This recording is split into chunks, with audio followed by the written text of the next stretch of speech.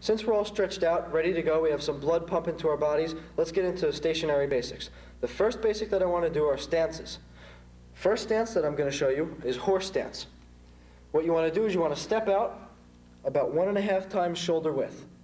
Feet are pointed straight ahead, back is straight, your hands come to your waist.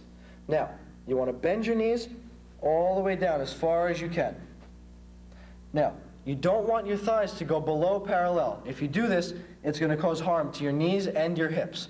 And you don't want your thighs to be here because you're not getting the full range of motion and you're not exercising your legs the same you would. So you want your hands here, bend down, thighs parallel with the floor. Make a nice even line. Back straight, looking straight ahead. This is a horse stance. Knees, you do not want to bend in and you don't want to bend too far out. You want them just to be comfortable forward, pushing them out a little bit. Horse stance, just like this. Moving on to the next stance, right from here, we're going to go into a bow stance. All we do is we turn our feet 45 degrees, straighten one leg, and keep the other one bent. Now notice, there's a 90 degree angle formed here between my leg, which you can't really see because these pants are pretty baggy.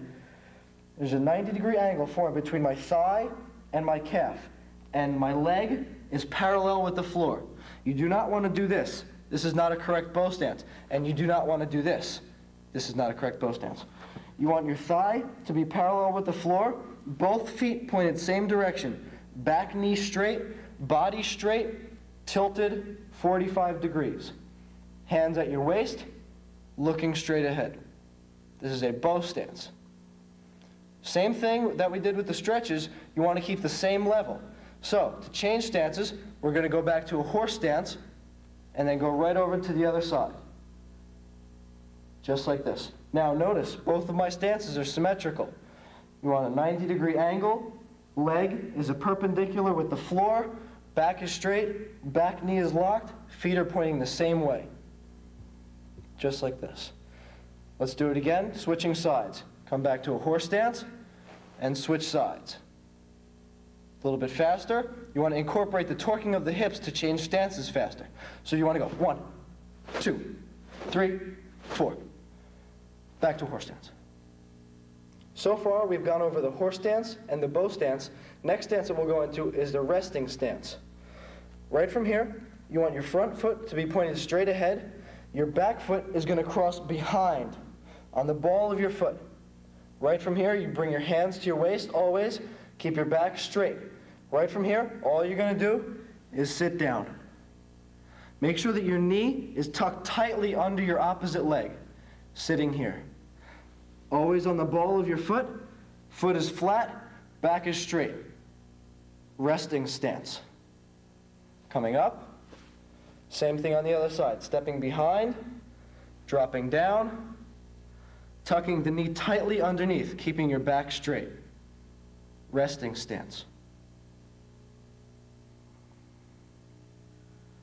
And come back up. Same thing. Step down. Up. Step down. And up. Horse stance, bow stance, resting stance. Next is the empty stance. Empty stance is a lower version of the cat stance. Traditional cat stance is just like this. Your back is straight, hands are at your waist, knee is bent, there's no weight on the front leg. This is a cat stance. Empty stance is basically the same thing, except you increase the difficulty. So you're going to go lower, making one thigh parallel to the floor. Hands are optional here. You can keep them at the waist, or you can perform one of the various other techniques that I'll show you next time. Foot is pointed straight ahead or 45 degrees. Stepping forward with the other leg, and dropping down. Thigh is parallel with the floor. There is still no weight on the front leg.